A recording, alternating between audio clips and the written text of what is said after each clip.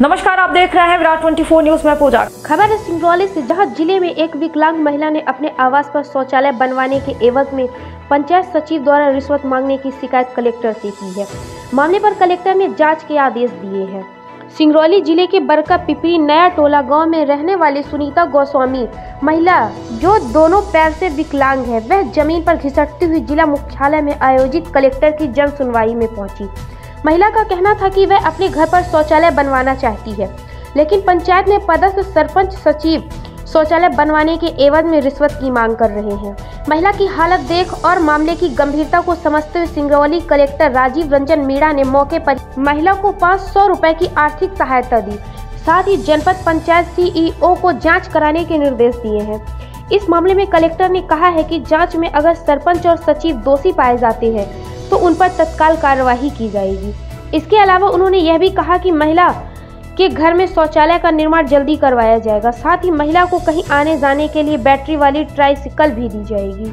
हमारा सुनीता गोस्वामी नाम। ये पिपरी नया टोला गाँव है। हम ये बैटरी गाड़ी खींचती रहा है कि हमारी तीन महीना से नहीं दे रहे हैं। लौटा देते, भाड़ा लागत है छह सौ रुपया। और हमें लेटरिन के नहीं है, शौचालय के आवास घर नहीं है, हमके घर में कोई मने रह ही नहीं दे। कहते घर बनवा भाई हमारे पैसा नहीं है बनवावे के हमें सरकार दे बनाई के? मकान दे हम एक रहे। के हम सबसे कहे, सब जाना सुना थे, का उन बनाए नहीं रहे, बिसर जाते, का तो बिसरावा थे नहीं दौड़ नहीं सोच रहे उनके।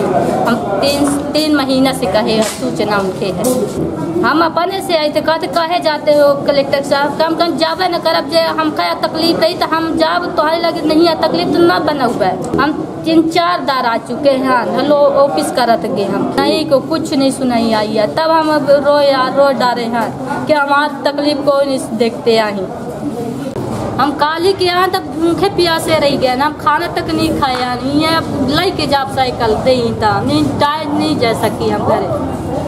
चाहे मरी चाहे बिल्ली आई।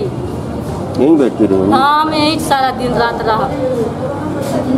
अभी हमने जो अभी हमारे यहाँ जैसे जन सुनवाई अन्य माध्यमों से जो भी इस तरीके के हमारे पास में मामले संज्ञान में आते हैं उनमें हम उनकी जो है त्वरित कार्रवाई करते हैं। तो ऐसे जो अभी संज्ञान में आया है तो उसको हम एक बार उनके यहाँ जाँच करवा लेते हैं।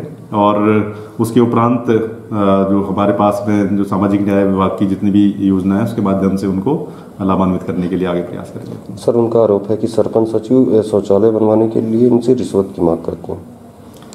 अभी तो ऐसे तथ्य अभी संज्ञान में आए हैं तो इसमें जो क्या उनकी जो वहाँ वस्तु स्थिति है उसके हिसाब से उसको हम एक बार संबंधित सीओ जनपद को भेज के जाँच करवाएँगे। और उसमें जो भी उचित कार्रवाई इसमें हो सकती है वो उसमें करेंगे उसमें तमाम बड़ी खबरों के लिए देखते रहिए विराट 24 न्यूज़ नमस्कार। खुल गया खुल गया खुल गया। आपके शहर में सर्व सुविधा युक्त स्काई रेस्टोरेंट खुल गया। वेज नॉन वेज भोजन का लुत्फ उठाने के लिए अवश्य पधारें। हमारे यहाँ स्काई स्पेशल थाली के साथ जन्मदिन तिलक। एंगेजमेंट रिसेप्शन के लिए हॉल उपलब्ध है। ऑनलाइन ऑर्डर के लिए संपर्क करें nine zero three nine zero double three double six one पर। पता याद रखें स्काई रेस्टोरेंट विश्वविद्यालय रोड लोटस टावर खुटे ही, रीवा।